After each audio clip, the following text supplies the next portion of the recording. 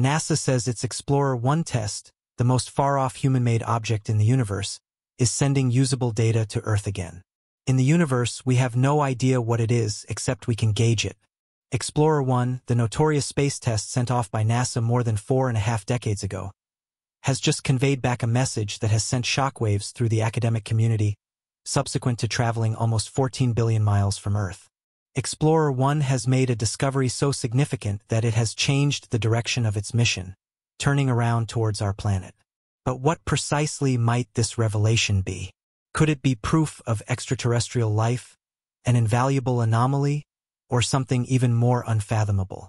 In this gripping investigation, we'll disclose these stunning discoveries as Explorer 1 has recently made an alarming revelation that made it suddenly turn around towards Earth.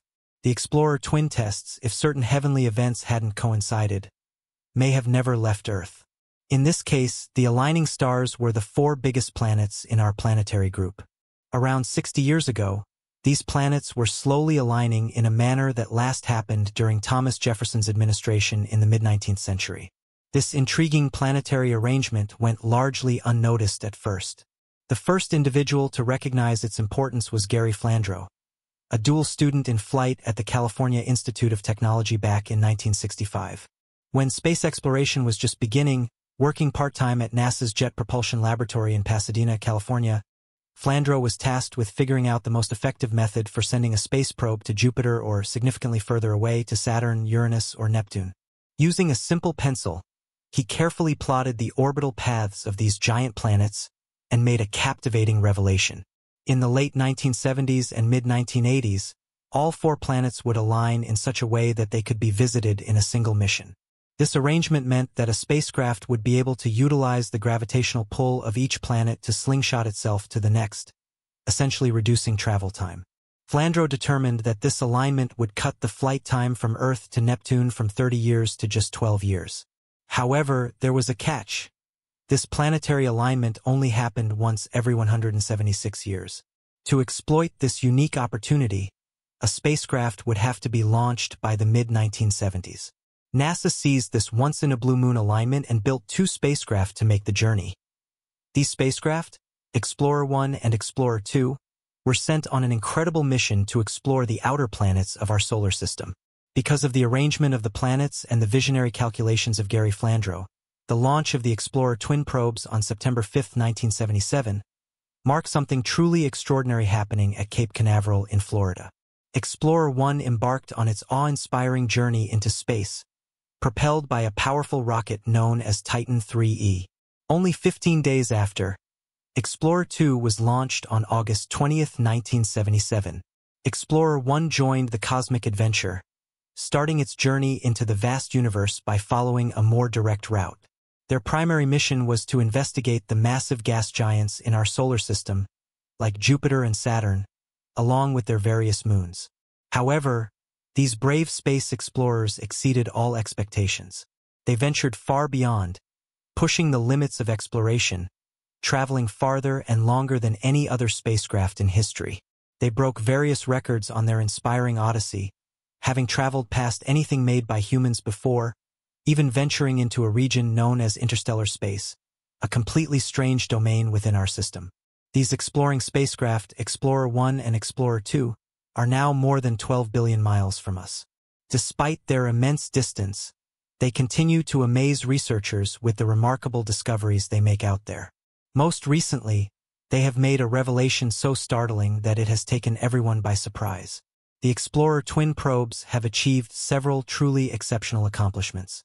Years ago, they investigated the moons of Jupiter and Saturn, surprising researchers who initially believed them to be dull and heavily cratered like our moon. These moons turned out to be dynamic hubs of activity. Explorer 2 made history by becoming the first of the twins to swing by Uranus in 1986, and just three years later, it dashed past Neptune, an accomplishment unmatched by any other spacecraft.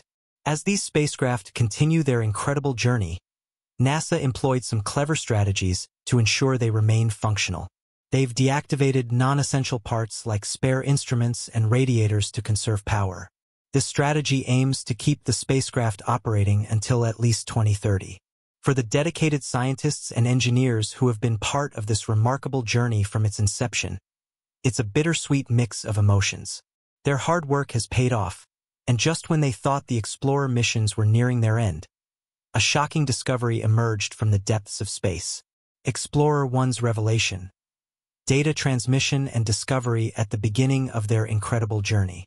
Years ago, the Explorer spacecraft stunned analysts by providing the first up-close views of the moons of Jupiter and Saturn. These moons, which astronomers had assumed to be dull and heavily scarred like our own moon, turned out to be dynamic worlds. Explorer 1 reached Jupiter in spring 1979, only 546 days after its launch. Explorer 2, following a slightly different path, arrived in July of that same year. Both spacecraft were equipped with vidicon cameras that used filters to capture full-color images.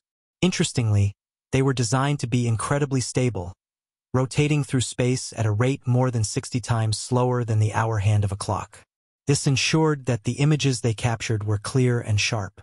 During their mission, the explorers took over 33,000 photos of Jupiter and its moons, each revealing new and captivating details. For example, Europa, one of Jupiter's 53 named moons, was found to have a cracked icy shell estimated to be over 60 miles thick. As the spacecraft departed from the Jupiter system, they received a farewell boost in speed of 35,700 miles per hour from a gravitational slingshot, a pivotal move that helped push them towards interstellar space. At Saturn, the explorers went their separate ways. Explorer 1 passed through Saturn's majestic rings, enduring countless impacts from small dust particles, before flying by Titan, a moon shrouded in an orange fog and traveling north out of the plane of the planets. Explorer 2 continued its solo journey, arriving at Uranus and Neptune in 1986. During its visit to Uranus, Explorer 2 discovered 10 new moons and added the planet to the list of worlds in our solar system with rings. However, Explorer 2's accomplishments were overshadowed by tragedy. Only four days after its closest approach to Uranus, the Space Shuttle Challenger tragically exploded shortly after launch, claiming the lives of all seven crew members, including Christa McAuliffe, a high school teacher from New Hampshire who was set to become the first civilian to travel into space. Three years later, as Explorer 2 flew around 2,800 miles over Neptune's striking bluish methane sky, it encountered the fastest winds recorded on any planet in our solar system reaching speeds of up to 1,000 miles per hour. Neptune's largest moon, Triton, turned out to be one of the coldest spots in our vast neighborhood, with surface temperatures plummeting to a staggering minus 235 degrees Celsius. The moon's icy volcanoes were another astounding find, launching nitrogen gas and fine particles up to five miles into its atmosphere. After Explorer 2's mesmerizing images of Neptune and its moons, both spacecraft were scheduled to shut down their cameras, marking the end of their official mission. However, cosmologist Carl Sagan, a member of the mission's imaging team, intervened. Despite the grand tour still concluding, NASA extended the mission in hopes that the spacecraft would venture into interstellar space. Renamed the Voyager Interstellar Mission, the probes were set to continue their journey into the unknown. Sagan convinced NASA to allow Explorer 1 to take one last series of pictures on Valentine's Day in 1990.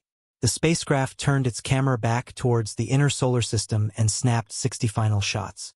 One of these pictures, famously referred to by Carl Sagan as the pale blue dot, captured Earth from a stunning distance of 3.8 billion miles.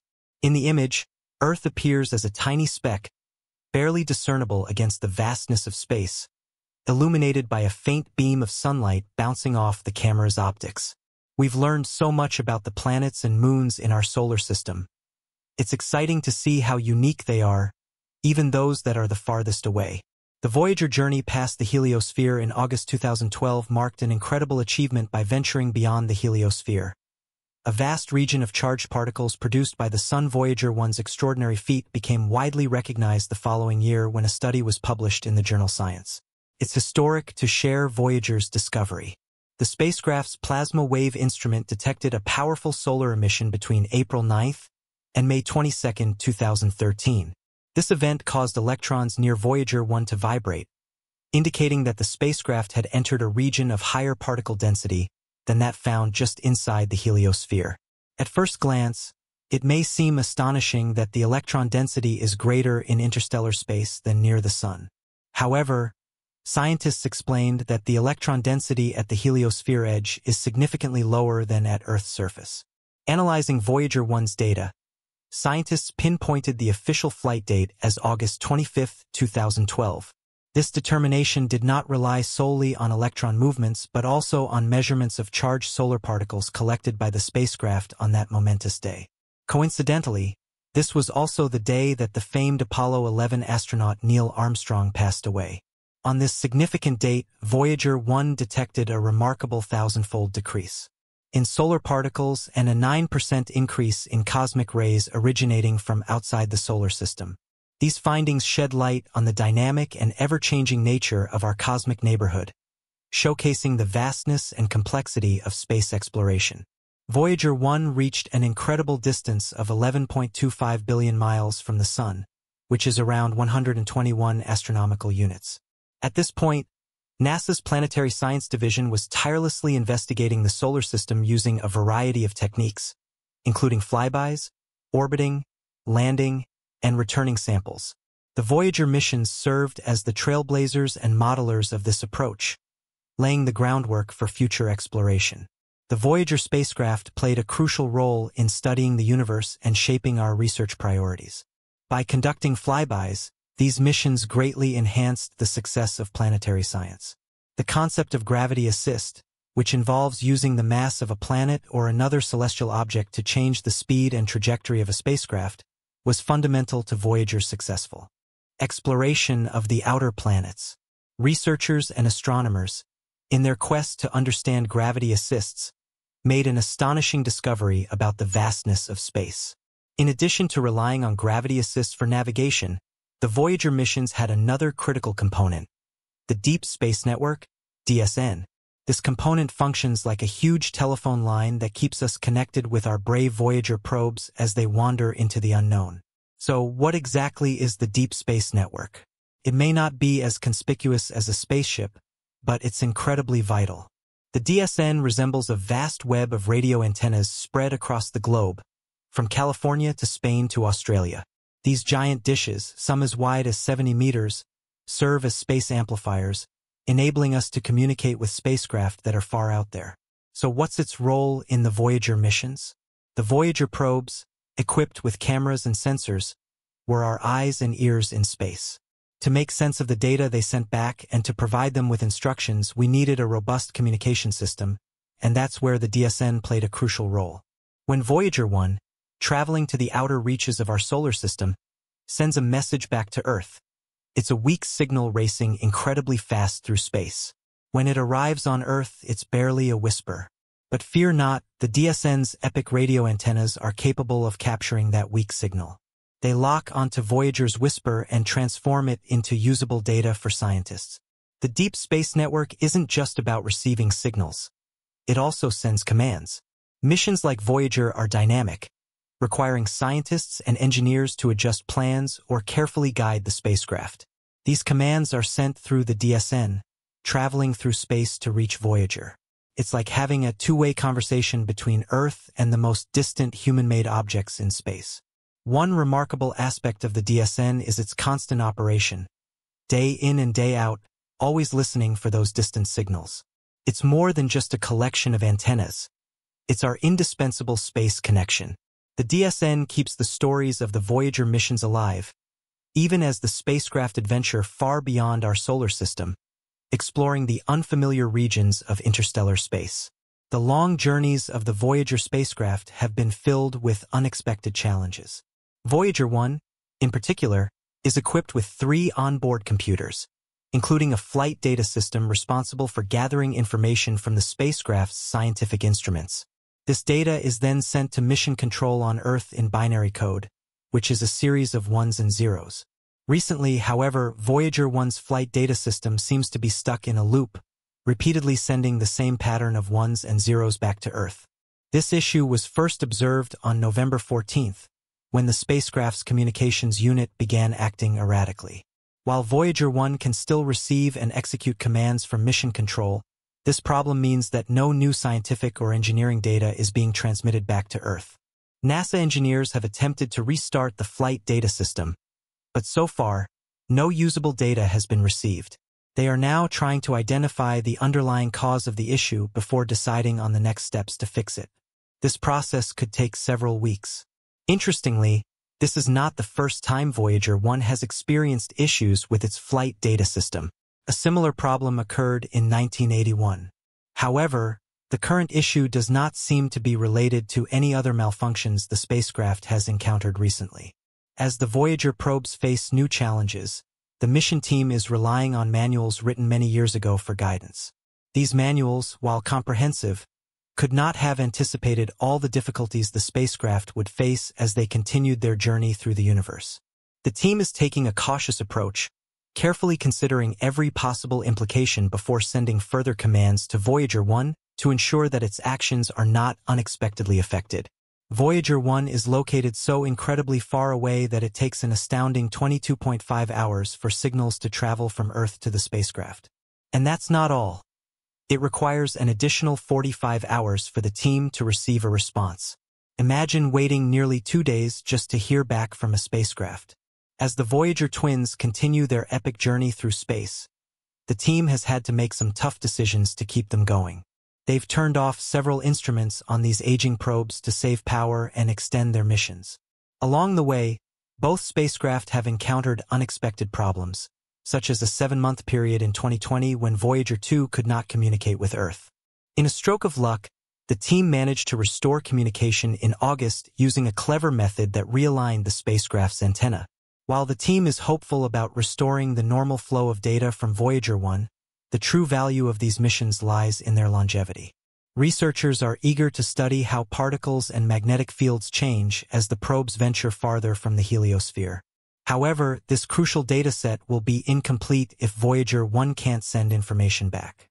The team has also been creative in finding ways to extend the power supply on both spacecraft.